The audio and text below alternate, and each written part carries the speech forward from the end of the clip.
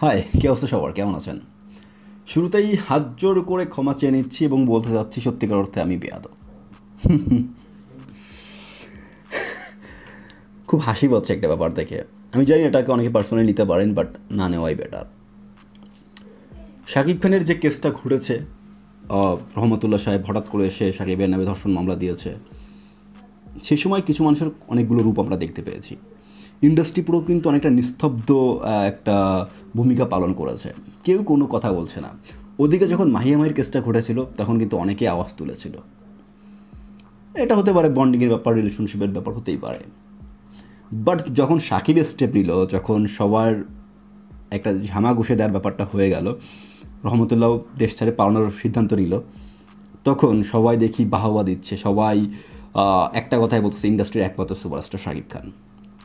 But যখন সাপোর্টটা দরকার ছিল, তখন কিন্তু করে নাই। ব্যাপারটা কাইন্ড অফ হয়ে গেছে, হাতি যখন কাদায় পড়ছে দূর থেকে, ঠিকই হয়েছে সব থেকে শক্তিশালী জন্তু বা সব থেকে শক্তিশালী প্রাণী জঙ্গলে রাজত্ব করতেছে, ঠিকই হয়েছে ঠিকই হয়েছে বাট যখন ওই হাতি কাদা থেকে উঠে একটা গাছাড়া দিয়েছে, সবাই হ্যাঁ জয় হাতির জয় জয় হাতির জয় জয় হাতির জয়। আমি জানি এটাকে অনেক খারাপভাবে নিতে পারে বাট আমি চেয়েছিলাম সবাই সাকিবের সঙ্গে যেন থাকে, সাকিবের বিপদ আপদের সাথে থাকে, কোন সময়? যখন সাকিব বিপদে থাকে।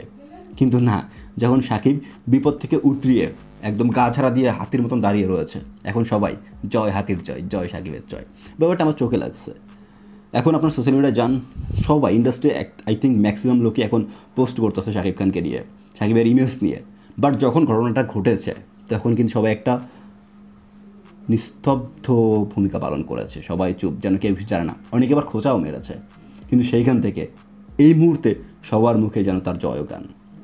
সত্যি কথা বলতে, তারা যে জয়গান করছে, এটাকে আমি খারাপভাবে দেখছি এমনটা না। ভালো দিক যে সবাই অ্যাপ্রিসিয়েট করতেছে।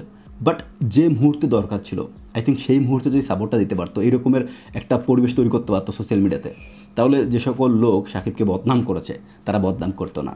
এবং সাকিব তার স্টেপ নিতে দু একদিন লেট করতো না। সাকিব সঙ্গে সঙ্গে স্টেপ দিতে পারতো। সাকিব চিন্তা করতো যে আমার সাথে পুরো ইন্ডাস্ট্রি রয়েছে। আমার ভয় কিসের? যা হবে হবে। আমি এগিয়ে গেলাম। সাথে তো আমার সাথে আমার ইন্ডাস্ট্রি রয়েছে।